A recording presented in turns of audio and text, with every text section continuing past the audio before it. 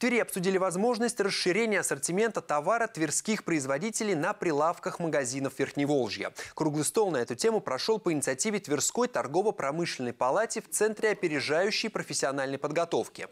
На встрече присутствовали представители различных уровней власти Тверской области, общественники, а также руководители крупных торговых сетей, работающих на территории нашего региона. Повестка дня включала в себя ряд вопросов, связанных с поддержкой местных товаропроизводителей, увеличение количества товаров, произведенных в Верхневолжье в торговых точках, а также вопросы реализации виноводочной продукции в торговых сетях, расположенных на территории Тверской области. По мнению одного из участников совещания, президента Тверской торгово-промышленной палаты Владислава Шорикова, эти и другие вопросы сегодня наиболее остро стоят в нашем регионе.